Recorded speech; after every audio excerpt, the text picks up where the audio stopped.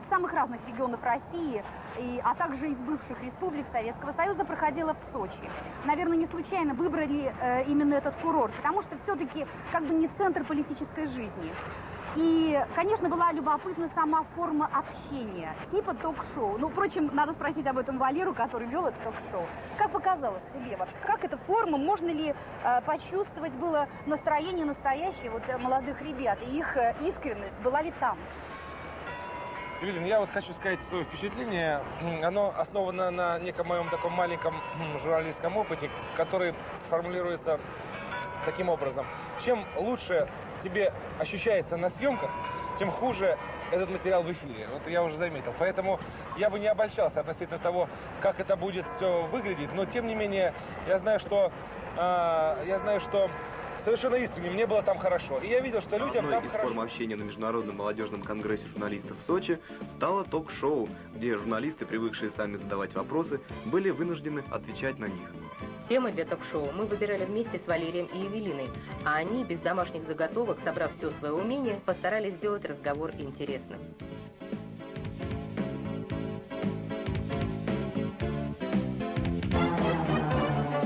Прошу, мы не будем, наверное, так в лоб ставить какие-то вопросы, просто зададим тему. И я вас очень прошу высказать свое мнение, потому что оно, наверное, есть у, у каждого из присутствующих. Итак, власть телевидения или телевидение – орудие власти. Примерно так можно сказать. Политиков делает телевидение или политики управляют телевидением в своих интересах? Да, эффективность и действенность, то есть одни из основных принципов журналистики в советский период, сейчас потеряла э, свою силу и э, роль. Другие совершенно требования к профессионализму, и вот именно время профессионалов как бы пришло. Ну и этим требованиям, конечно, э, очень многие не соответствуют. Как стать профессионалом на телевидении сейчас? Мы говорим о том, что масса передач идет проходных, неинтересных. Возможно ли научиться этому? И когда наше телевидение станет профессиональным? непонятная сейчас ситуация, что говорят, вот молодые непрофессионалы пришли, нарубили, намон- намонтировали, непонятно что. А у нас там есть большее, мне кажется. Наши программы нравятся зрителям. Я не знаю, есть ли э, проблемы с э, понятием профессионализма именно на телевидении. Я думаю, что, про- про- что, такое, что такое вообще профессионализм любой профессии? Это талант плюс э, опыт, если ты умеешь хорошо работать, если у тебя набита рука, есть что сказать, и ты умеешь это сказать, значит, ты профессионал. Профессионализм – это, пожалуй, компетентность и умение донести то, что ты знаешь о предмете, до слушателя, зрителя и так далее, читателя. Как правило, те, кто хочет работать на телевидении, эти люди обладают неким даром самовыдвижения. Получается, да. Не получается, ну что ж, тут, так сказать, пенять не на кого. Я пришел на телевидение три года назад и никого не знал. Ни Киселева, ни Политковского, ни Любимого, ни Миткова, ну, никого. Но как-то очень быстро мы все подружились. Действительно подружились, потому что телевидение такая очень серьезная профессия. И здесь каждый очень хорошо чувствует профессионализм другого. Я вот понял для себя, что такое профессионализм. Это когда твоя работа не видна. И весь труд, который ты затратил, и все невидимые миру слезы остаются с тобой. А вот то, что ты сделал, просто приносит удовольствие другим. Вот это профессионализм. Новокузнецкое телевидение. Нашему директору 68 лет. 68. Примерно средний возраст э, работников 40-45 лет. И, в принципе, молодежи, вот э, мы четверо сюда приехали, в принципе, ну, там еще двое осталось, все. Дедовщина колоссальная. То есть пресс необыкновенный. Город Славутич, Киевская область. Э, там живут, проживают работники Чернобыльской атомной станции. Вы знаете, меня девушка обидела тем, что сказала, что у нее директор старый, поэтому он не профессиональный. По-моему, с моей точки зрения, или зажимает молодежь. По-моему, человек и в 70 лет может быть молодым, лишь бы была молодой душа. Не возраст определяет э, возможности того или иного руководителя, не возраст, а состояние его души. Я знаю массу людей, которые в 18 лет выглядят стариками. Но у меня к вам вопрос. Вот когда вам будет 55 лет, как вы будете относиться к молодежи? Так. Ольга Коваленко, город Азов, маленький городок. Руководитель пресс-центра. Это проблема отцов и детей. Она такая старая уже. И должна быть золотая серединка. С одной стороны, мы должны стараться их понять как-то, а они нам должны поверить. В чем-то поверить, потому что иначе переходит все просто в бесплодный какой-то спор. Если бы дедовщина у нас была, то я мог бы о себе сказать, что с самого начала я был дедом. Я пришел уже зрелым человеком на телевидении, так получилось. Э, поэтому меня никто не затирал, как, впрочем, по-моему, и я никого. Я вообще в журналистике, на самом деле, 4 года. Вот я работаю на российском телевидении. Больше нигде не работал э, в этой профессии. Я с дедовщиной не сталкивался. Но я уже объяснил. Может быть, просто не, она проходила мимо меня, меня обтекала. Я, конечно, не исключаю, что в региональных отделениях это есть. Там, где есть наше телевидение российское, с самого начала э, сложилось в целом. Пришли люди, стали работать. Там, где есть борьба между поколениями, там, где молодые должны пробивать себе дорогу, а люди в возрасте, естественно, не хотят эту дорогу уступать, конечно, они пользуются э, и привилегиями своего возраста, э, своего положения, своих административных возможностей, связи и так далее, чтобы остаться. Я думаю, что если под дедовщиной иметь в виду именно такую ситуацию, наверняка она во многих местах имеет место и на телевидении тоже. Пожалуй, в любом творческом коллективе так или иначе существует дедовщина. Что под ней понимать? скажем так, какое-то творческое насилие над журналистом, который только приходит в издание, молодой журналист, э, который попадает в зрелый коллектив, где чаще всего люди работают по много лет, занимают э, хорошую должность, занимаются интересной работой и так далее. Безусловно, какое-то творческое насилие молодой журналист, молодой специалист всегда испытывает.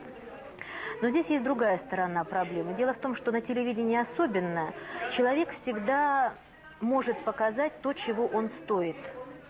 Достаточно сделать первый материал, и уже понятно, э, какова цена того журналиста, который этот материал сделал. А телевидение, более того, если в газете, может быть, можно э, скрыть какое-то, э, ну, не знаю, некоторую некомпетентность, незнание материала, прикрывшись какими-то э, добытыми источниками и так далее. А на телевидении, когда человек выходит, то сразу видно, что за ним стоит, э, какова его позиция, каково отношение к тому предмету, о котором он сообщает. В общем, телевидение – это тот самый рентген, который насквозь просвечивает творческую личность. И мне кажется, э, это то самое поприще, где молодой журналист с первых шагов может занять свое место в эфире. Ну а что касается дедовщины, то для профессионала никакой дедовщины на телевидении нет. Есть ощущение борьбы за эфир. Э, ощущение борьбы за эфир, оно всегда э, было, всегда будет. Вот я прошел действительно разные пути. Я был и, и администратором, был и редактором, вот, э, там и старшим редактором, и корреспондентом. И э, я всегда э, ощущал, что, конечно, существует какая-то борьба за эфир. И всегда, э, как говорил Рейган, всегда есть люди, которые круче тебя.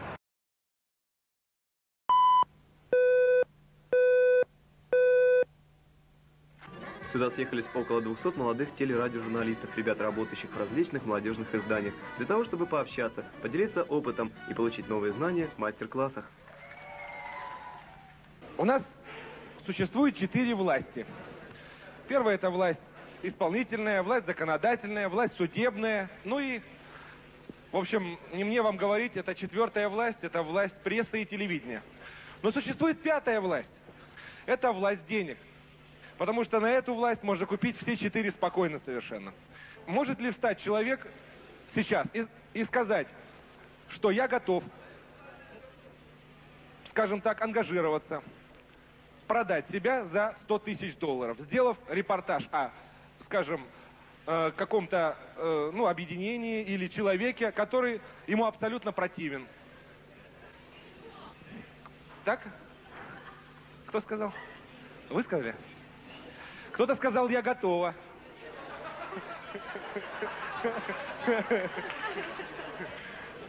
Нет, это скучно. Миллион долларов это скучно. Какие другие есть предложения? Вот и почему? Я думаю, дело не в том, скажем, заплатят мне эти деньги или нет. Очень трудно сказать в микрофон, я честный и принципиальный, но это та мотивировка, которую каждый мог бы предложить. Мы просто себя хвалить не хотим. Ну, конечно, мы честные просто. Лобыкин Александр, телерадиокомпания «Регион Тюмень». Я хочу сказать, что цены на журналиста существуют. Это э, вот цены на телевидении.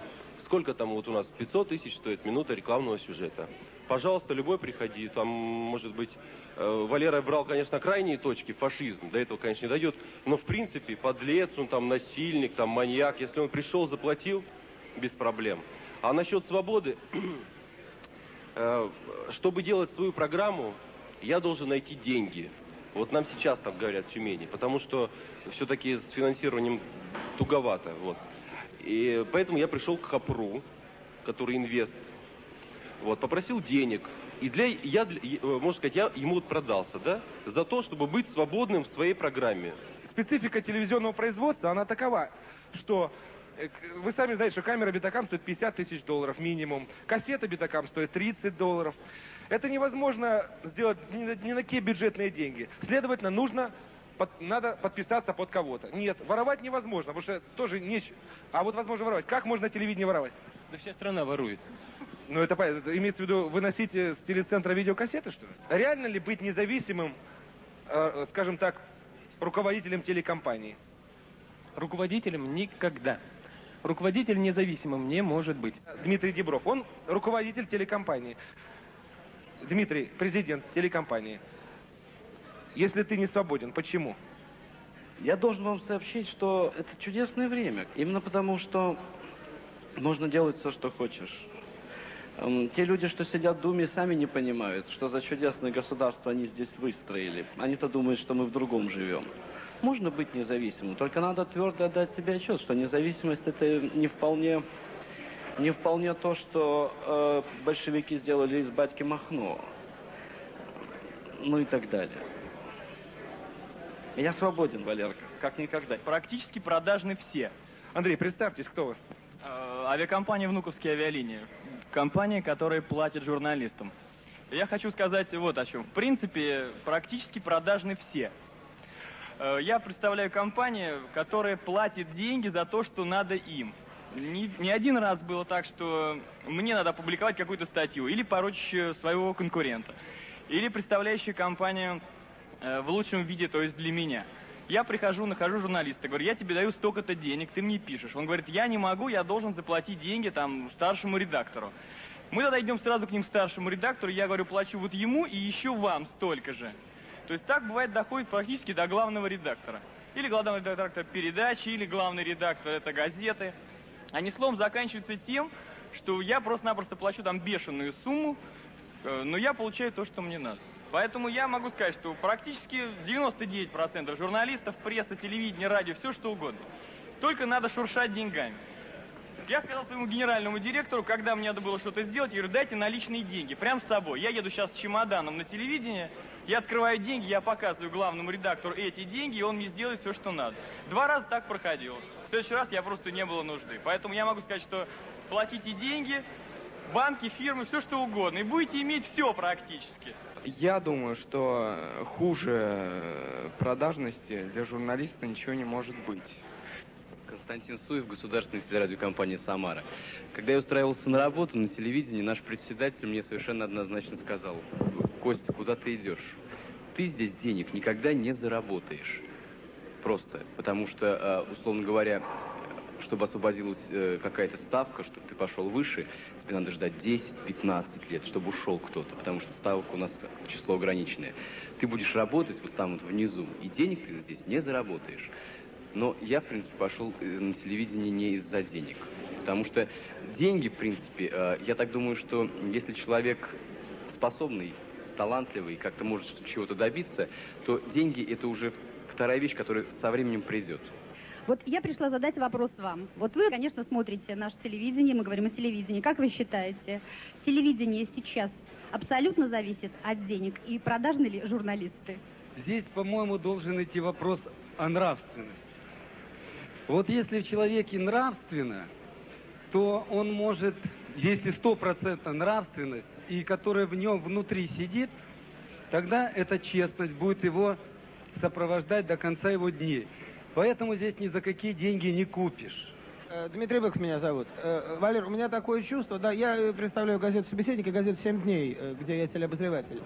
Мне представляется, что то, о чем мы здесь говорим, это показатель глубочайшего творческого кризиса. Господа, у вас что, не осталось творческих проблем? Мы все время говорим два дня подряд здесь о деньгах, о том, кто кого покупает, и совершенно не говорим о том, что интересно зрителю. Дмитрий, я перебью тебя. Дело в том, что чувствуется, что ты человек пишешь о телевидении, но не телевизионный человек.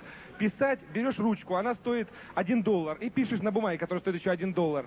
Чтобы заплатить оператору, вот они сейчас нас снимают, вот объясни ему, что ты ради светлого будущего приехал сюда. Ему надо заплатить за это. Приехала техника, приехали, приехали водители, которые... Э, ты мне объяснишь про творческие проблемы? Нужны деньги. Я говорю, э, представляю Новокузнецк, телевидение Новокузнецка. Нашему телевидению три с половиной года. Сергей работает на телевидении три года из этих трех с половиной. И три года э, регулярно выходит программа, которая называется «Ша-мажор». Она, в принципе, держится на одном человеке и, э, так сказать, не финансово абсолютно ни от кого не получает помощи. Но, тем не менее, это самая стабильная программа и единственная на нашем телевидении, которая держится три года. Сергей, на что вы живете? Да как За зарплату жены. Я живу только своими идеями, и деньги для меня вообще не играют никакой роли. Ну, по- гипотетически я готов в это поверить, но, но ведь э, вы покупаете вот эти кассеты, я вижу перед вами камера, она тоже стоит, как говорят, не один миллион рублей. Ну, все-таки все-таки вы не можете быть, э, так скажем, до конца альтруистом. Все равно приходится на что-то монтировать, на что-то делать. Или, или вы просто работаете грузчиком по ночам. Нет, я не работаю грузчиком. Дело в том, что вся техника это не моя, это, это все казенное. Зарплата наша чрезвычайно низка, об этом говорить уже не стоит. Что сдерживает меня? Я могу ответить совершенно честно. Я занимаюсь э, такой областью, во-первых, культуры, и не буду говорить, что это само по себе благородно, но круг людей, с которыми я вступаю в контакты, когда делаю репортажи, чрезвычайно узок, и все все знают. И Если я возьму деньги, моя репутация будет испорчена навсегда. Я говорю так, искусство на самом деле велик, потому что денег катастрофически не хватает. Я вот недавно выч- э, выяснил, что налоговый инспектор в городе Миннеаполис получает в год 150 тысяч долларов. Это считается невероятно высокая зарплата для госслужащего. Поэтому вот это каким-то образом их избавляет от соблазна брать деньги. Вот я знаю такое. Так что, может быть, когда-нибудь журналистам вести будут платить 200 тысяч долларов?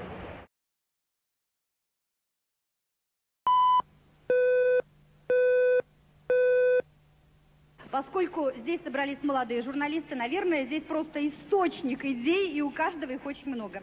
Вообразим такую ситуацию. У каждого из вас есть возможность сделать собственную программу. Любую. Есть ли у вас какие-то идеи? Это может быть информационная, на что она может быть похожа или принципиально новая. Это может быть любая развлекательная. Чего не хватает? Каких программ не хватает нашему вообще телевидению у нас в России? Каких программ? Я считаю, основное отличие нашего телевидения от, скажем, американского или какого-либо другого западного, то, что оно очень интеллектуально. На Западе не относится никогда к телевидению так, как у нас. У нас его просто, у них это просто как фон некий, под завтрак, под там занятие сексом, под все что угодно. У нас есть по-настоящему глубокие интеллектуальные программы.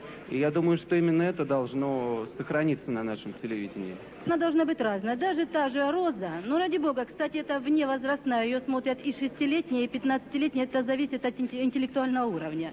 Вот, и м, мои знакомые уже старики, вот, они больше смотрят интеллектуальные, наш круг передачи. Вот, это у нее... И все-таки программа должна быть разная. Пусть там будет и «Поле чудес», пусть там и «Роза» будет, и пусть будет все. Киев, агентство «Инпресс», Надежда Ильюк. Я руковожу на Украине таким агентством, в котором ребята только начинают, пытаются делать свои первые шаги телевизионные. У нас есть много интересных передач, например, харьковские, харьковские ребята делают профессиональную такую программу «Новости из-под парты», киевские более слабые и так далее. Но вот э, что самое интересное, сейчас мы немножечко провели такой э, опрос, все они хотят, чтобы был свой молодежный канал, это в идеале. А вообще, хотя бы это была, так, так сказать, 4-5 э, большая передача, и мы с ними согласны. Значит, э, обязательно должны быть новости, обязательно. Значит, обязательно должна быть какая-то интеллектуальная игра. Ну, вот, я не знаю, может быть, э, «Звездный час» где-то так, наподобие, но, может быть, даже немножко поинтереснее, посложнее. И обязательно какая-то музыкальная такая для, и для этого возраста передача, для души, как говорится, и для ума в провинции получается иногда такая ситуация, что если вдруг какая-то новая идея, и с ней вот именно поделиться, и если эта идея проходит потом по московским каналам, то когда начинаешь делать такую же программу у себя, в провинции в той же, получается, что это идет полное копирование. Вот. И у нас очень сильное мнение такое бытует именно, если программа похожа на какую-то, которая идет по первым двум каналам, значит слезали ее и все, и поэтому ребята не работают. Но в то же время все-таки одной идеей могу поделиться. У нас сейчас разрабатывается проект, он будет запущен в ближайшее время уже. Это обзор телесериалов, тех мыльных опер, о которых уже сегодня говорили. Э, я бы делала программу под условным названием «О времена у нравы». Я, я считаю, что мы вот совершенно упустили вот этот э, жанр, э, традиционный старый жанр, который еще Глеровским был открыт, социального портретирования. Э, Какие-то показывать э, ну, вот, э, жизнь разных слоев населения, что ли. Существует э, как, бы э, масса проблем социальных, которые очень конкретно выражаются значит, в людских судьбах. Несколько разная специфика у телевидений, которые сидят здесь, в основном телевизионщики региональные. То есть телевизионщики, которые работают в своих регионах, на небольшие города, на небольшие участки, на скажем, на свои микрорайоны, но, может быть, на какие-то области. И есть телевидение всесоюз, э, российское, всероссийское, есть разная специфика. С моей точки зрения, э, есть программы, которые мы можем предложить именно региональному телевидению, которые находятся ближе к своим абонентам, ближе к телезрителям. В частности, вот такая программа, как, э, скажем, детский вариант игры «Верю, не верю», она спокойно проходит у нас в нашем городе. Я не знаю, может быть, у вас не проходит, поэтому Рекомендую. Элементарный вопрос, выставляется приз, вы задаете и по прямому телефону с вами любой житель вашего города связывается.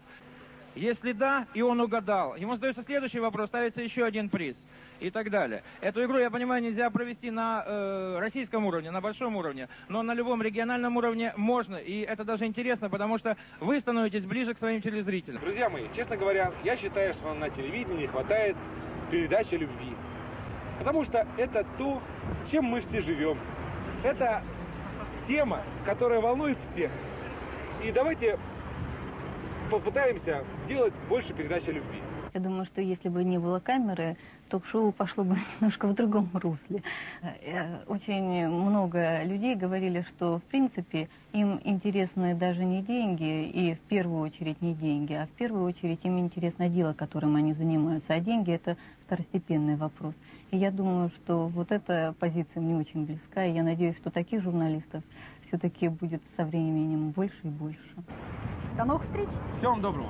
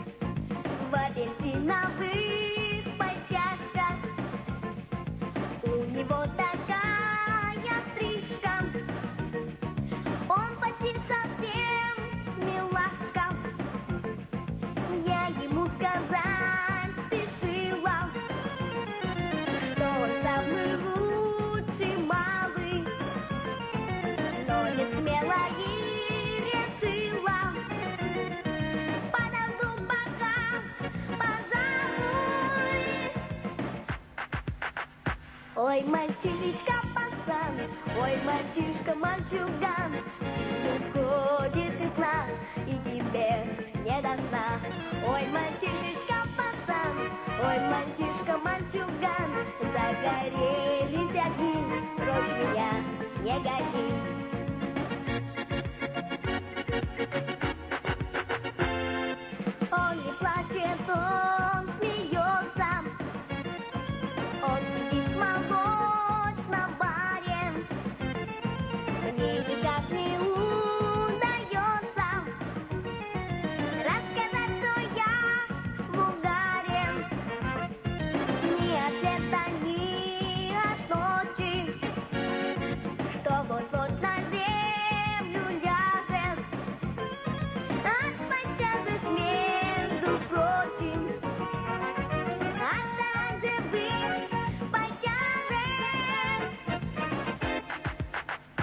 Ой, мальчишечка пацан, ой, мальчишка мальчуган, в силу входит весна, и теперь не до сна.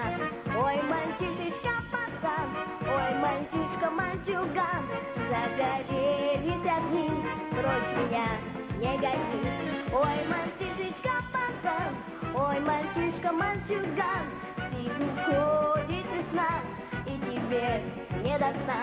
Ой, мальчишечка пацан, пацан, ой, мальчишка, мальчуган, загорелись огни, прочь меня, не гони.